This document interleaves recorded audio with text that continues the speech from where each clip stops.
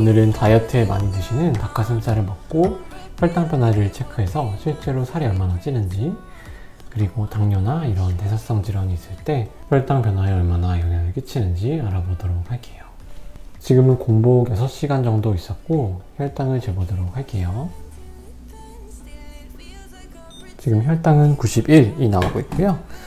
혈당 정상 수치는 80에서 100 사이 정도이고 그러면 닭가슴살을 먹고 혈당이 얼마나 올라가는지 한번 체크해 보도록 할게요. 닭가슴살은 코스코에서 파는 수지스 닭가슴살이고 이렇게 포장돼서 나오는 제품이에요. 페퍼를 뿌린 제품이고요. 이거를 전자레인지에 30초 정도 돌려서 먹어보도록 하겠습니다. 정확한 측정을 위해서 물이랑만 먹어보도록 할게요. 음, 약간 짠맛도 도는 게 맛있어요. 혈당은 크게 많이 오를 것 같지는 않아요. 그래도 궁금하긴 하더라고요. 실제로 거의 단백질 위주의 식단을 먹으면은 혈당이 얼마나 올라가는지 사실 다이어트 하실 때는 너무 단백질만 많이 먹는 것보다도 지방을 좀 먹어주는 게 좋아요. 그게 오히려 혈당이 덜 오르고 지방도 좀 섞여 있는 식단을 먹는 게 오히려 나을 수 있어요. 그리고 닭가슴살 같은 거를 위주로 식단을 먹으면 식이섬유 섭취가 많이 안 돼서 또 건강에 문제가 생길 수 있으니까 특히 변비나 콜레스테롤 높아지는 문제가 생길 수 있으니까 식이섬유 보조제 형태로라도 식이섬유 먹어주는 게 좋아요.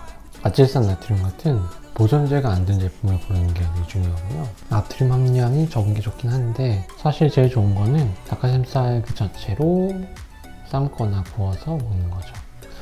구울 때는 아보카도 같은 발연점이 높고 열에 좀 안정적인 기름에 굽는 게 좋아요. 다 먹었고요. 30분 후에 혈당 체크 한번 하고 1시간 후에 혈당 체크 마지막으로 한번 해서 닭가슴살만 먹었을 때 어떻게 변하는지 한번 보도록 할게요. 지금은 식후 30분이고 닭가슴살 하나 먹고 얼마나 혈당이 오르는지 체크해 보도록 할게요. 식후 30분 혈당은 106 정도 나오고요. 혈당은 30분에 15 정도 올랐네요. 어, 생각보다는 그래도 좀 오른 것 같아요. 그러면은 30분쯤 더 있다가 식후 1시간 혈당을 보고 다이어트에 진짜 닭가슴살만 먹는 게 큰 도움이 되는지 다른 음식을 먹었을 때랑은 어느 정도 차이가 나는지 한번 확인을 해보도록 할게요. 이제 닭가슴살 한 조각 먹은 지 1시간 정도 지났고요. 음, 식후 혈당을 마지막으로 집어보도록 할게요. 식후 1시간 혈당은 90이 나왔어요. 이걸 보면 확실히 닭가슴살은 혈당을 크게 올리지 않고 15 정도 올리는 걸로 보이고요. 혈당 수치도 금방 내려오는 걸로 봐서 혈당 피크치는 110 이하였던 것 같아요. 혈당이 돌아오는데 1시간 정도 걸리니까 닭가슴살 한 조각을 먹어도 1시간이 지나면 공복 정도 상태의 혈당으로 돌아온다.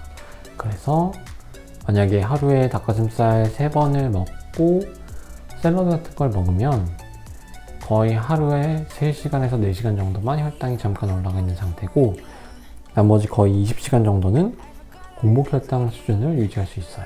그렇기 때문에 그렇게 혈당이 낮게 유지되는 시간에 우리 몸에서는 글리코겐을 사용하고 또 몸에 저장되어 있는 지방을 태워서 진짜 체지방이 줄어드는 그런 시간을 가지게 되는 거예요. 그러니까 닭가슴살이랑 칼로리가 거의 없는 야채류 위주로 식사를 하시는 거는 다른 밥을 먹었을 때보다 월등히 도움된다고 생각하시면 될 것 같아요.